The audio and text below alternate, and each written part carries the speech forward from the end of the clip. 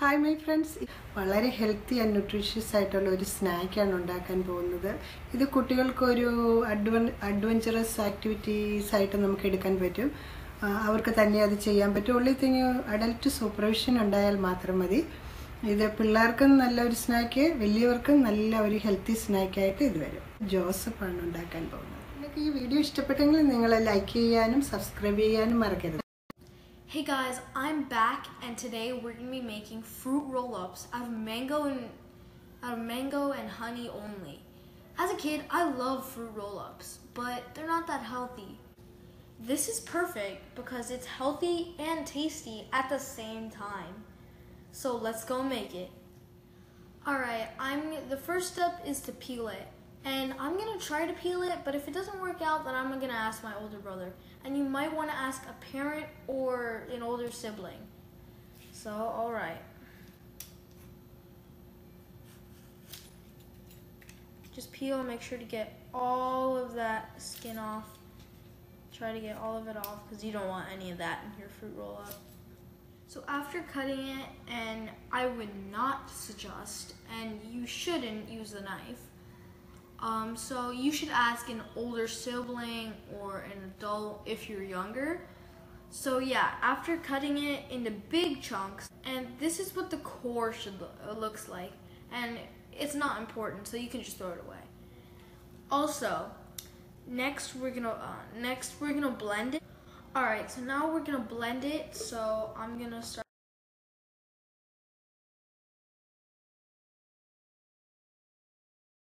It's fitting like pieces of puzzle. It like it just slides in, and I found that really cool. And here's the last. Through the cap on, tighten it all. All right, now we're gonna blend it, and after about a little bit time of doing it, it's not completely done yet. So I'm gonna add the honey. And you wanna add honey depending on how sweet your mangoes were. So mine weren't that that sweet. I'm gonna add some more, some honey. Mine were intermediate, intermediately sweet, so I'm only gonna add one tablespoon. But yeah, you can add two if you really want it to be sweet. Then I'm gonna tighten it again and start mixing again. All right. Alright, so now once you're when it's all blended, you're gonna take a baking tray, which you can get almost anywhere, even at your local dollar store. And then you take some parchment paper and just cut around this area. Cut it so that it's kind of like then you'll need the parchment paper, which should be pretty easy to get.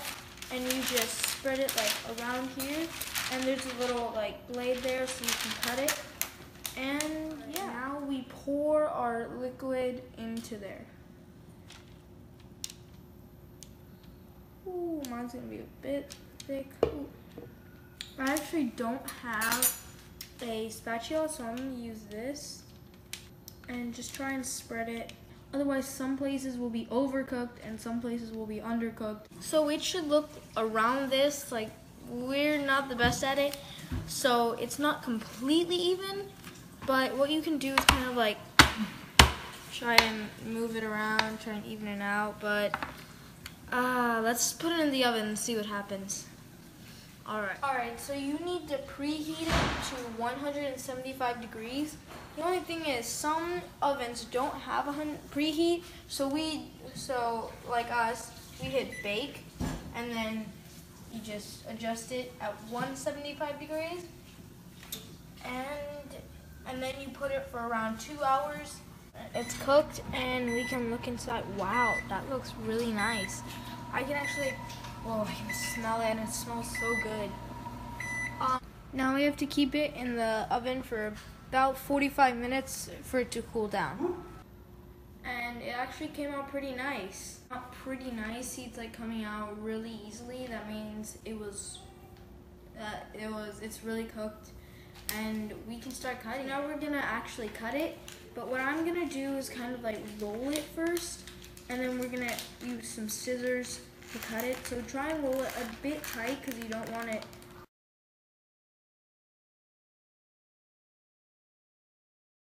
possible. And then we're gonna take some scissors. You, this is a paper cutting scissors, so it should be pretty safe. So we're gonna cut about one inch. It may be hard to cut, so you might, you probably will ask, you probably wanna ask an adult to do it. All right, so this came out really good actually. So now we're gonna try one. All right, and whoa, it comes out pretty good. And let's see how it peels. Wow, that peels really nice. And now let's try it. Oh, it's a bit squishy on one end. Mmm, tastes really good. So yeah, that's how you make mango fruit roll-ups. If you liked the video, please like and subscribe. And see you next time.